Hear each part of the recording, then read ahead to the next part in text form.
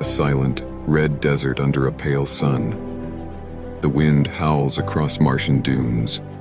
250 million kilometers from Earth lies a world of dust and dreams. Mars cold, airless, and silent. But what if one day it wasn't? Terraforming the science of transforming a hostile planet into a living one. Imagine turning Mars into a blue-green world with oceans, clouds, and breathable air. Sounds like science fiction, not anymore.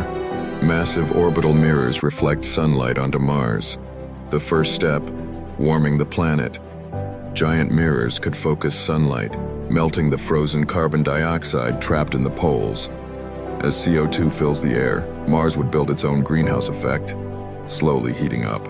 Transition to massive factories releasing gases into the sky.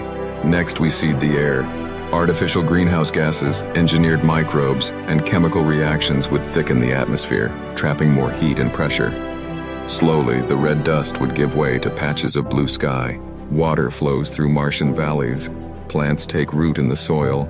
Then comes water drawn from underground ice, or even asteroids redirected to crash and melt. Rivers would flow, rain would fall, and Mars would awaken, a second Earth taking shape. A human colony stands under a glowing Martian sunset. Terraforming Mars isn't just about technology, it's about destiny. Humanity reaching beyond its cradle, learning to shape worlds, not destroy them. The red planet may one day breathe, because we dared to dream. A child runs across green Martian fields, Earth glowing in the sky above. Maybe in the future, when someone looks up at the sky from Mars, they'll see Earth and call it their old home. Terraforming Mars, the birth of a new world. Like and subscribe for more such videos.